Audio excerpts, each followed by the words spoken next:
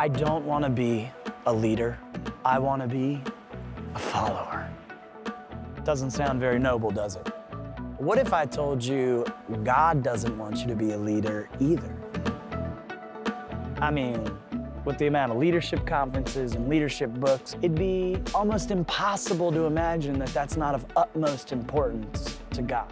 It's funny, because when I search the Gospels, I cannot find one place where Jesus asks anyone to be a leader. In fact, he doesn't even consider himself a leader. He says, I don't do anything of my own accord. I just do what I see the Father in heaven do. So if that's the case, then there's only one leader, and we're all followers. Think the reason we consider Jesus a great leader is because he was the servant of all. I don't know about you, but when I frame it that way, suddenly the pressure comes off my shoulders and I feel like I can finally breathe. I've been thinking about this verse for a long time, Ephesians 2.10.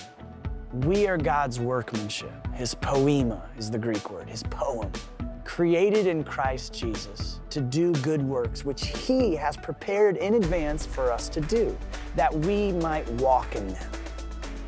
What if we just have to focus on saying yes to the opportunities that he has created for us every day? Maybe leadership can never be sought for leadership itself, but it must always be the byproduct of being a great follower. Whatever your occupation, we can all pray this prayer. You're changing my heart to want what you want, to love how you love, and that is enough. There's no greater plan that I need to know.